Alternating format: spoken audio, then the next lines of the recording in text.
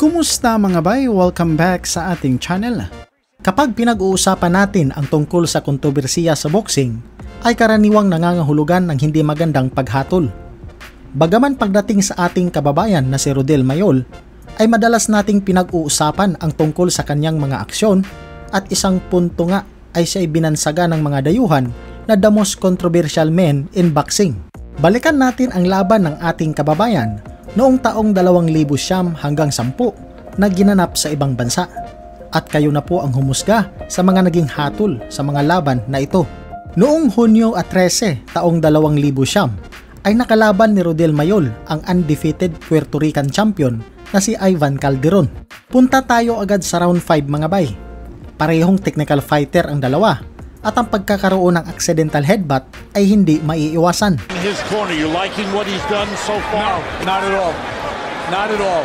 Oh, again, again the heads Oh. came together. Oh boy, this is getting to be a bad habit. Accidental headbutt. Oh, we haven't completed Well, they- score. Guess what? Yeah. My scorecard says it's a draw. And there's a cut on the forehead, dripping down. Second time they've Wow. clashed heads, and this time a cut open on the forehead of the champion Ivan Calderon. Yeah, I can't be sure, but it doesn't look like it's in the same exact spot. So let's see his response. Ngunit kung paulit-ulit itong mangyari, ay tiyak may kakaibang estilo ng galaw sa pakipaglaban ng isa sa mga boksingero. Kung titingnan nating mabuti mga bay, ay yumuyuko si Rodel Mayol sa tuwing papasok sa depensa ni Calderon para ito ay makaiwas sa counter punch. Nagkataon na maliit at agresibo din itong Puerto Rican, kaya sa pagsalubungan ng dalawa ay sa ibabaw ng noo ni Calderon ang nagkakaroon ng sugat. Tatlong beses na ulit ang accidental headbutt na ito mga bay sa parehong spot sa noo ni Calderon. That because he's the guy trying to get inside. Initiated the contract uh, contact. Says yes. The one that stopped the fight with Cazares was right in the middle of his head, so this is a different spot. Fans urging on Calderon. Wow. Still two minutes to go in round five. Could very well be the winner of this round could win the fight if they were to go to the cards.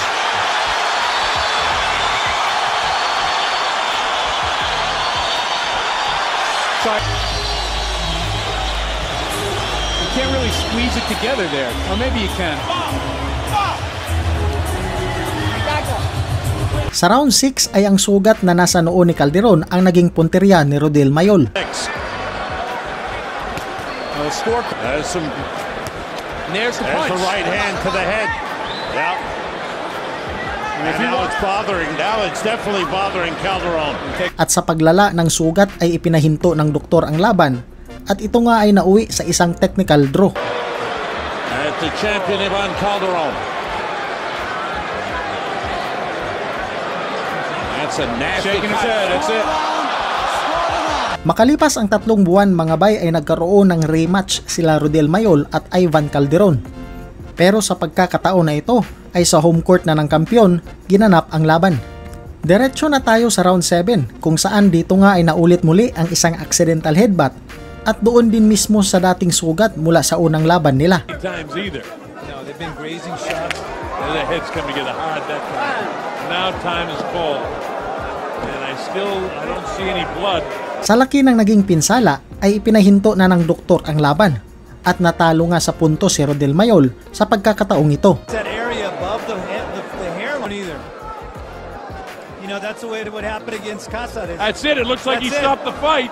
Bago magtapos ang taong 2000 siyam, ay napalaban ulit si Rodel Mayol sa isang Mexican champion na si Edgar Sosa. Magkasing tangkad lang itong dalawa at sa umpisa nga ng round ay may ingat ang galaw nitong Meksikano.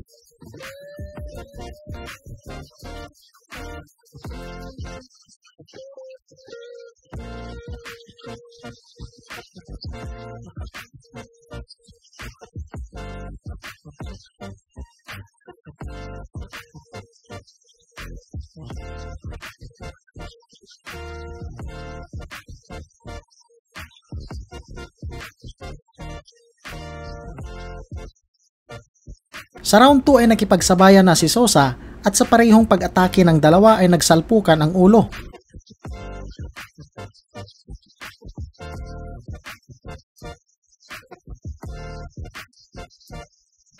Naging kontrobersyal ang naging hatol dito mga bay sapagkat ito'y isang accidental headbutt pero lumapit ang miyembro ng WBC at nagsumite na bawasan ng puntos si Rodel Mayol.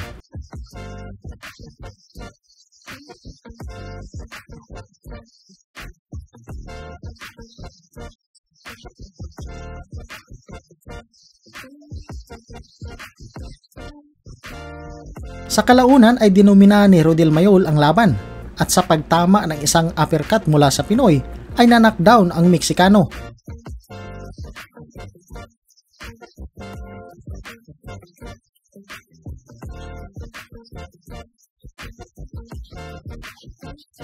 Nakatayo pa si Edgar Sosa pero ito'y hilong-hilo na.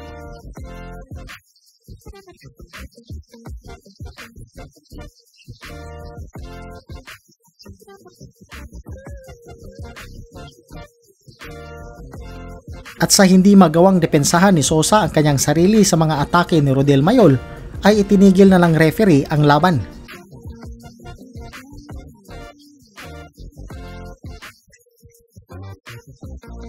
Matapos ang laban na itong mga bay ay dumiretso agad sa pagamutan itong Meksikano at doon lumabas na nagkaroon ng tatlong fracture sa mukha si Edgar Sosa.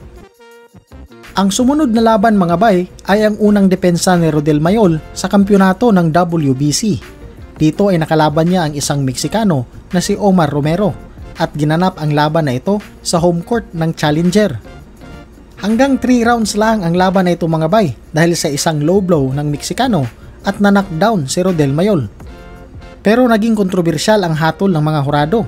Panoorin nyo ang highlights ng laban at kayo na po ang humusga kung tama ba na naging draw ito. Marniño, el de Guadalajara, que tercero en la historia con 10 defensas como lo es, el gigante, el extraordinario Edgar Sosa, bienvenido Edgar. Herrero, Robert García, como usted quiera, fue una pésima aparición. Atento, concentrado en esta pelea. El, efectivamente, El mexicano se quejaba de un golpe bajo, pero fue lícito. Y ahí va Mayol que trata de sorprender con la velocidad de las manos a la hora de soltar los golpes, pero elude bien con movimiento a la defensiva Ricardo Finito López Omar Niño. Efectivamente, cuidado, ahí lo conectaron Lo con un prendieron. fuerte upper, ¿eh? Un upper de izquierda, está sobre piernas balbuceantes el mexicano en malas condiciones. Un uppercut bien colocado, lo tiene al borde del knockout en este segundo episodio. A ver si la experiencia lo hace salir adelante. Ahí va el filipino hacia el frente.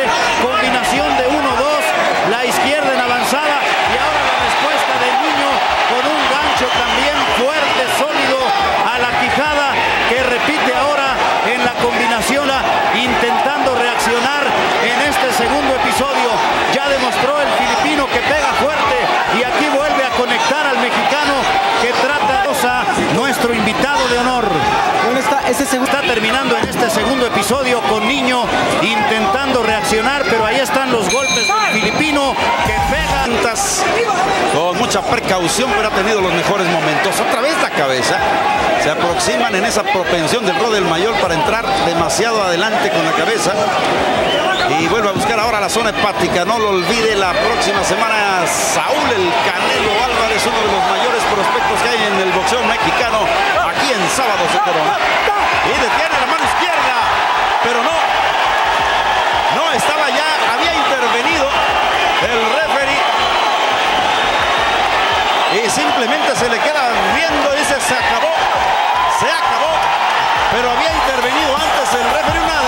Makalipas ang tatlong buwan ay nagkaroon ng rematch ang dalawa. Pero sa pagkakataong ito ay natalo si Rodel Mayol via unanimous decision. Walang inilabas na video ang media sa laban na ito mga bay.